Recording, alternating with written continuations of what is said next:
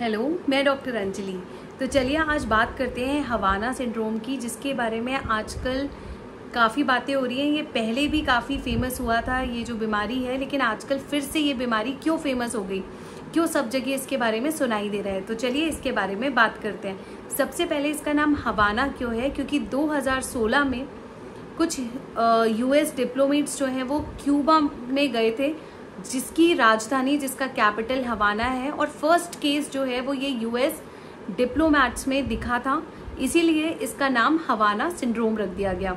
तो क्या इसके सिम्टम्स हैं? कैसे पता चलेगा कि किसी को हवाना सिंड्रोम है? सबसे पहले सर में दर्द, बेहोशी आना, कुछ अजीब सी सेंसेशन होना, कुछ अजीब सी आवाज़ें सुनाई देना। कैसी आवाज़ें? जैसे बर्तन के घिसने की आवाज़ सुनाई देती है, झिंगूर के बोलने की आवाज़ सुनाई देती है। और आ कान बंद करने पे, जगह बदलने पे भी आपको वो आवाज़ सुनाई देती है। उसके बाद काफ़ी कंट्रीज़ में ये देखा गया था। जैसे कि मैं आपको बता देती हूँ पढ़ के कि Australia, Colombia, Russia, Kyrgyzstan, Poland, Serbia, Taiwan, China and अब इंडिया में भी आया और काफ़ी एक दो कंट्रीज़ और भी हैं। इंडिया में ये क्यों अभी फ़ेमस हुआ है? क्योंकि बैंगलोर के एक रेसिडेंट ने कर्नाटका हाई कोर्ट में पिटीशन लगाई थी इस सिंड्रोम के लिए कि इसकी जाँच होनी चाहिए इंडिया में भी।